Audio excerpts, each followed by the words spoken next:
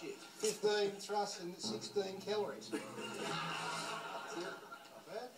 Mate, I could Good have. effort for you. That's four or five you could have pulled out of me in that time. no, no, right, here's we go now. Righto, Come cool. on. Now, here's my third apology for the night. Oh. Now, look, I want to make an apology. Dear Disgrace is angry of Wheelers Hill. Dear Disgrace. I love the Olympics, mate, and I love Taekwondo. When you rubbished that sport last week, you lost me big time. You are pure scum and un-Australian. Get off my TV.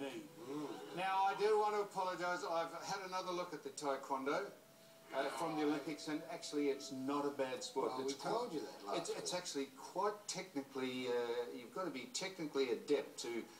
I- i- It's a very, very good sport. And I, I undersold it, and I was only being Too late. vague. What? Too late. It's too late, Forzle. No, it's not. I'm Yeah, yeah, no, it is. We've had a lot of very angry people Yeah, in no, touch with I us. know, 'cause I've just No, no. read one of them out. No, including the Olympian. Oh, Olympian. you got more, have you? The Olympian you had a go at last week, uh, Safwan Khalil, who said this. No.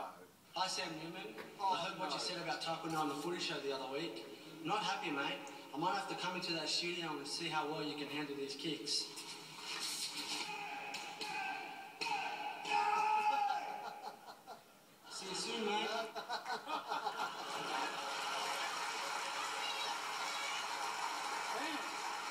That's it. That's it. That's Safwan. That's the man you took the mick out of last week. In that, I should have gone over and said this before he had his bout. Uh, that's what I was hoping he'd do. He wasn't the only Taekwondo expert who wanted a piece of you, Force. More, is there? Uh, so did this young lady, Stefania lady. Ferraro.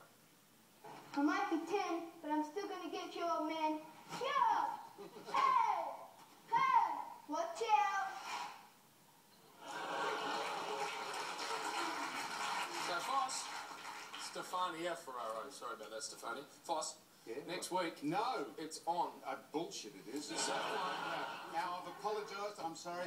It's a bloody Which good one do you want to take first? You can start with uh, it a choice. Stefania and then have Safwan, or you can have Safwan really pump you into a pole and have, have Stefania come and finish you off. Finish you off.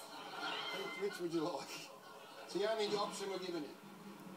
Why don't you bring some animals for the zoo in and see No, if they can... they're coming in next week. Don't worry about that. They are, and Now, going to deal look, with I, you. I, I was... Uh, Too late, Samuel. If you want to be involved in Sam's mailbag, this is what you need to do.